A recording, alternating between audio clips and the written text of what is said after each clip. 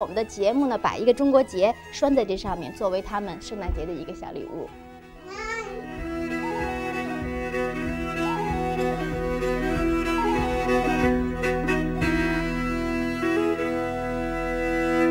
刚才我们看到的是我们的摄制组在短短的七天时间里，从挪威首都奥斯陆、西部沿海港口城市奥勒松，还有北极圈内的特罗姆瑟拍回的小片子。虽然时间非常仓促，但我们还是有一些意外的收获。一个呢，就是我们有幸见到了北极光，可惜当时这个拍摄条件不允许，我们没办法在节目当中展现这种大自然的奇观。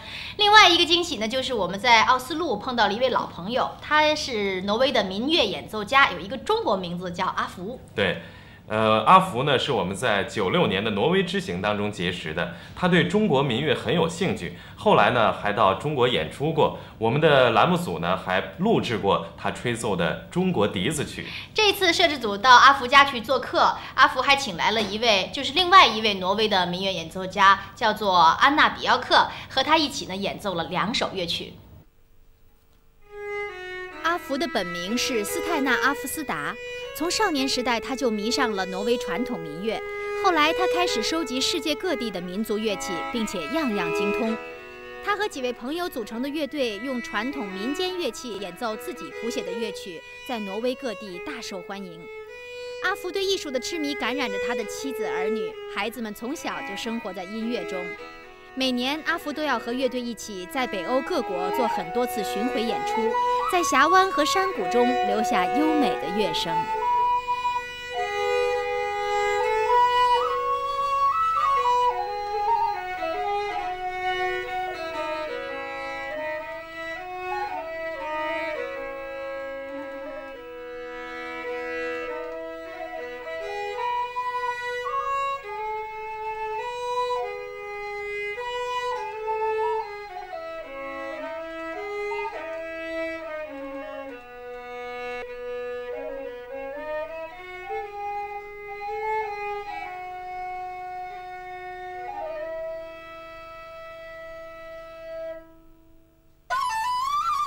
福在七十年代就曾走访中国，他拜笛子演奏家王铁锤为师，学习中国笛子吹奏。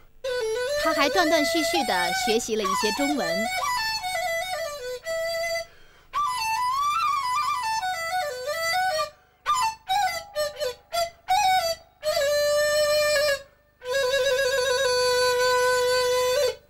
所以这把笛子是王铁锤先生给你的。对。嗯。阿福第一次开始学笛子就是从他那开始的。嗯，这是他，他这个鉴定了制作的这么一把笛子。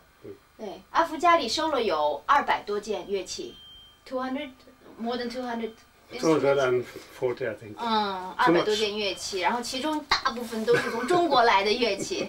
这一墙挂的，你看这光笛子，How many 笛子 do you have？I don't know. I have um, uh, in the other rooms. I have more suitcases. Over a hundred. Must be over a hundred. Yeah. 看这个房顶上还挂着这些，都没地方搁，只好挂起来了。这把笛子是怎么回事？我很喜欢呃邦迪。嗯。邦迪。嗯。很好的。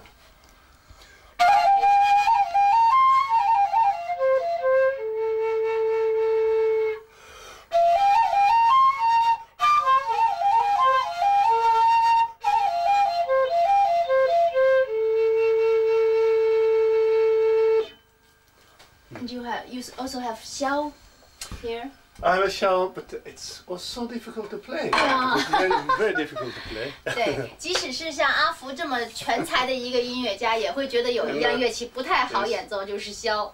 And have to put on the fingers in the right way, but I don't. Let's have a try.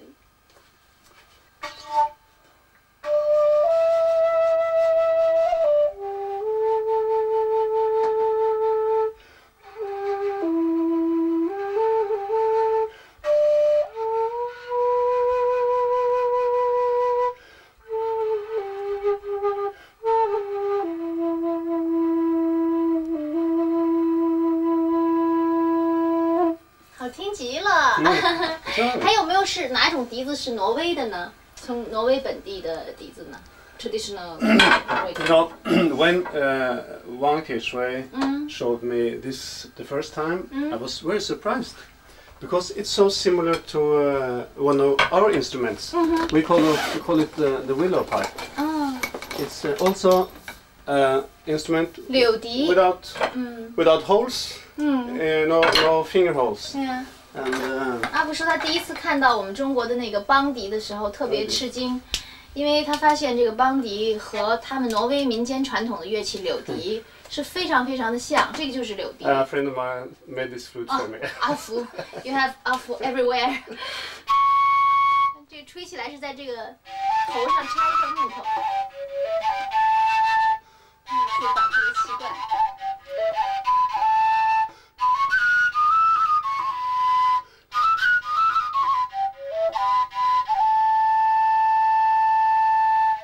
This is the cousin from Norway, and this is the cousin from China. They're, they're really Yeah. very close. Yeah.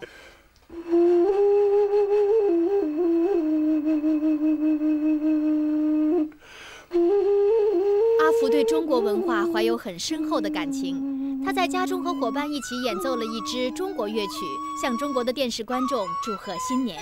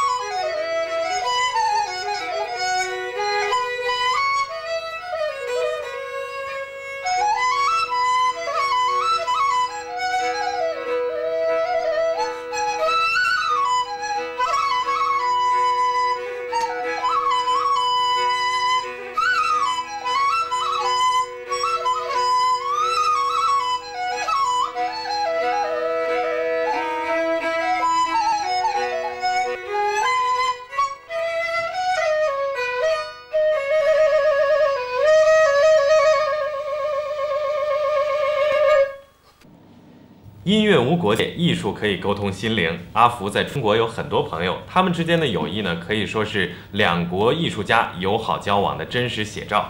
挪威现任首相邦德维克先生在接受中国记者采访的时候也表示，挪威政府呢会继续重视两国之间在文化艺术方面的交流，开展更多层面的合作。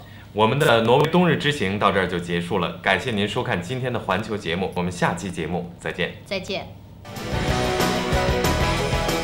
在当今石油缺乏和环境污染所带来的重压下，电动汽车受到越来越多的重视，它被视为未来的重要交通工具。详尽介绍电动汽车发展的现状与未来，敬请关注下期环球节目。